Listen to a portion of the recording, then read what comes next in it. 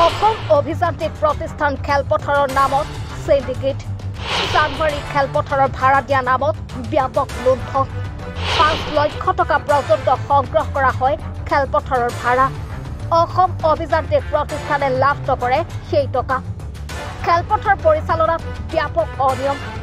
খেলপথাৰতে সোণৰ কণীৰ পৰা হাঁহ ধৰিবই নোৱাৰি।